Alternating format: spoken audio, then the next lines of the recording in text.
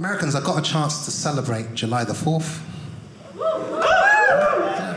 Which is a weird holiday for a British person to celebrate. I had a patriotic British friend of mine get mad at me. He goes, Chris, we lost the war. How could you? I said, I love hot dogs.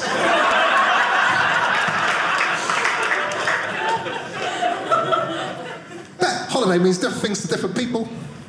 I was at this barbecue, and this American guy comes up to me and says, Hey, British guy, is today a sad day for you? I said, Back then, if you look like me, every day was sad.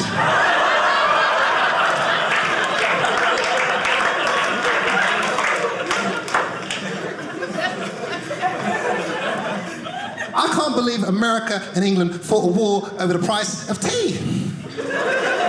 Have you guys been to Starbucks? If George Washington showed up at a Starbucks, he'd be like, six dollars for a chai latte? Ah! How much for a muffin? English muffin? English! I'm off to Dunkin'. America runs on Dunkin'.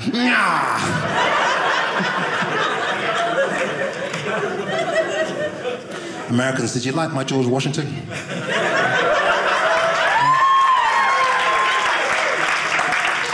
You know that I'm a connoisseur of American presidential impressions? Yeah, yeah, all right. This is my impression of Lincoln. Ouch! okay, don't worry, I'll skip Kennedy.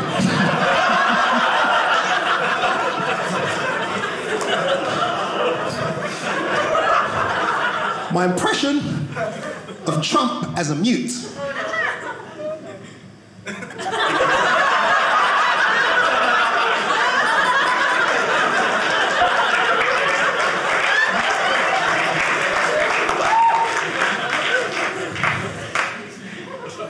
My impression of Joe Biden.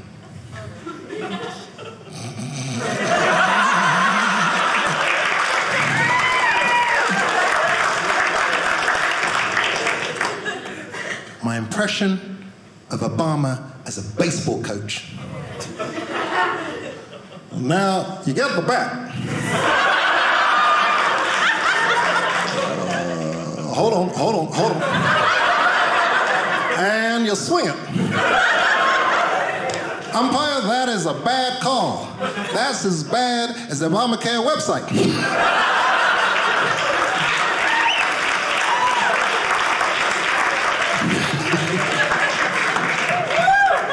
Thank you, thank you.